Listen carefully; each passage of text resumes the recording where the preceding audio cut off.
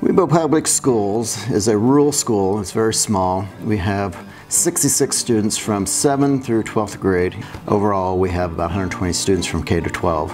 I think the challenge that uh, Wibaux has been facing with their breakfast program is uh, the cafeteria is two blocks away at the elementary school and a lot of students just don't feel like to uh, they want to walk there and then walk back especially in the cold of winter. Some of the hunger issues i saw in my classroom that i really related to being hungry students were half asleep um, wanting to fall asleep fidgety um, kind of anxious.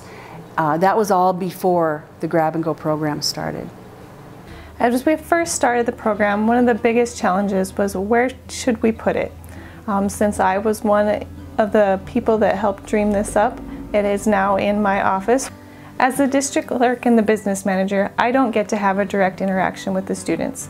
Having the Grab and Go Breakfast program come through my office is a nice way for me to have that one-on-one -on -one time with students each day.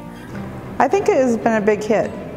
I really think the kids really like having that they're available and it has increased our breakfast program by quite a bit.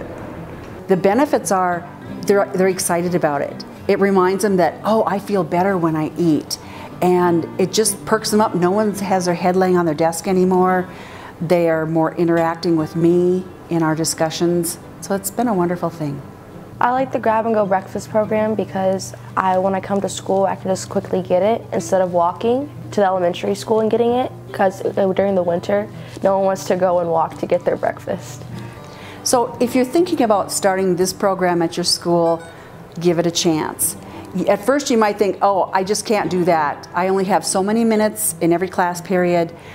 But give it a chance. Give them the, maybe the first five minutes. Let them eat have a quiet discussion starting out your lesson, maybe a small intro activity, and then get into your discussion. It does make a world of difference. When I missed breakfast, um, yeah, it was a little harder because, you know, it's, what, four or five hours until you get to eat lunch, so it's kind of a long day when you're hungry.